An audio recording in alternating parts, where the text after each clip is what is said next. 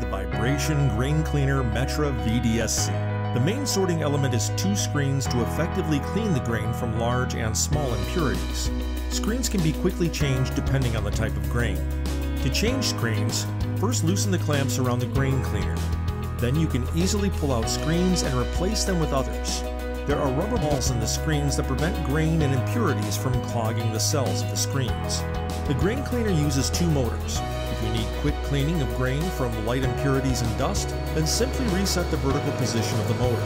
If you need more thorough cleaning of the grain, set the motor with a sharper angle relative to the grain cleaner, which gives the effect of throwing the grain on the screen and provides a more thorough cleaning.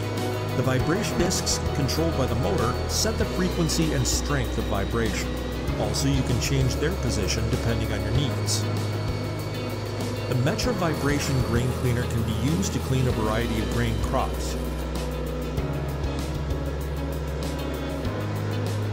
Grain first falls on a special tray, which distributes the grain over the entire surface, utilizing the entire area of the screens for cleaning. The upper screen has a larger cell on which large impurities remain, and the lower screen with a small cell on which good grain remains, and all small impurities and dust fall below. Large impurities roll into the first trough.